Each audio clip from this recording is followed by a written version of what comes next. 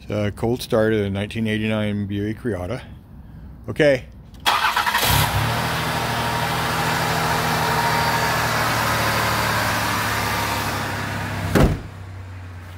Thank you.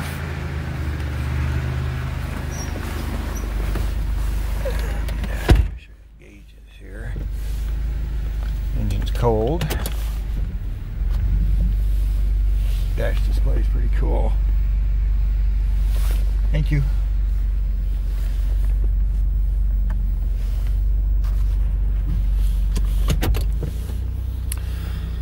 Car has uh, almost 147,000 on it now. This is my driver, so mileage will be going up a little bit.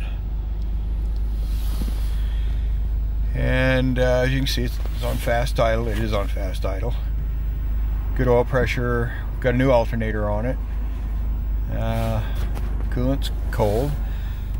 And this touchscreen works perfectly.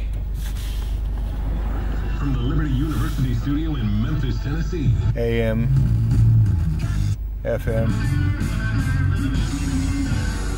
We got some distant stations here. This is the main summary screen, if you will. Where you can control the stereo system and and get the climate going. This is a more detailed climate screen.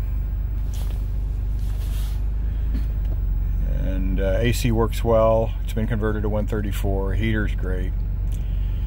The um, little fan icon even works. It goes speeds up there. It slows down.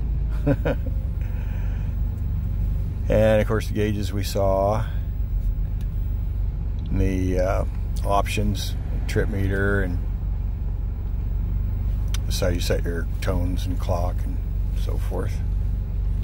So wipers work, uh, even the delay works, squirter works, uh, the defogger cruise works.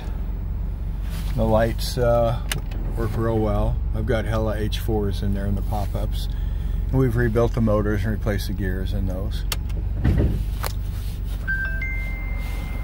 Okay, thank you.